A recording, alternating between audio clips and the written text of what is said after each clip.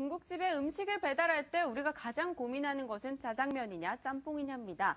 그럴 때 그 고민을 해결해 준 것은 짬짜면인데요. 그렇다면 이 각각의 지점에서 가장 좋은 수익률 기록하고 있는 종목만 모아 모아 보고 싶다 하시는 분들은 지점 대 지점 함께 하시면 됩니다. 월요일부터 금요일까지 10곳의 지점이 아주 치열한 경쟁을 펼쳐가고 있는데요. 월요일에 공개되는 대결 종목은 다음 주 월요일 12시를 기준으로 매도가가 산정됩니다. 자, 오늘 지난주 월요일 종목 수익률 확인하고요. 그리고 이제 볼 대결 종목까지 함께 열어보겠습니다.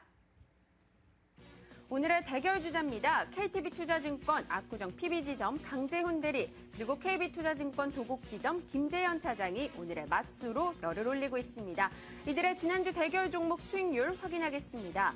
동일금속과 화일약품 모두 지점대 지점에서 최근 주목받고 있는 종목들인데요. 화일약품 측에서 4.4% 수익 기록하면서 추천 다음날 급등했던 데 힘입어서 김재현 차장이 승리를 거머쥐었습니다. 자, 이들의 2월 달부터 승률을 한번 확인하도록 하겠습니다. 강재훈 대리는 오전 2승 3패, 그리고 김재현 차장이 오전 3승 2패를 기록하면서 오늘 1승 앞서가게 됐습니다. 자, 이들의 각각 대결 종목들 수익률 한번 쭉 살펴보도록 하면요. 2월 4일 한국콜마가 김재현 차장 6% 손실 기록하면서 강재훈 대리가 화신으로 승리를 가져갔습니다. 2월 18일에는 코오롱 생명과학으로 김재현 차장이 5.7% 수익 기록했고요. 또 2월 25일에는 바이오랜드로 강재훈 대리가 3월 4일부터 또 지난주까지는 김재현 차장이 2주 연속 승리를 거머쥐었습니다. 특히 3월 4일 ITX 시큐리티로 22% 수익 기록했다는 점은 고무적이었습니다.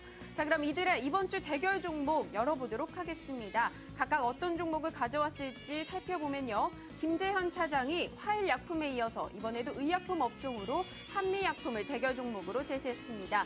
또 강재훈 대리는 금요일부터 오늘까지 강세 흐름 보이고 있는 두산엔진을 오늘 의 대결 종목으로 가져왔습니다. 네, KTB 투자증권의 강재훈 대리 연결해서 종목 이야기 자세히 들어보겠습니다. 대리님 안녕하세요. 네, 안녕하세요. 네, 안녕하십니까. 이 동일금속 수익을 기록했음에도 불구하고 승리를 거머쥐진 못했습니다. 조금 아쉬우실 것 같은데요. 추가 전략 어떻게 세우고 계십니까? 네, 동일금속은 어, 최근 흐름이 살아나려는 조짐이 보이고 있습니다. 어, 간단히 기업을 소개해드리자면 동사는 굴삭기 등 건설기계 장비의 필수 부품을 공급하는 주광 제품 전문 업체인데요. 어, 동사는 일본 기업 히타치와 13년간 거래하고 있습니다.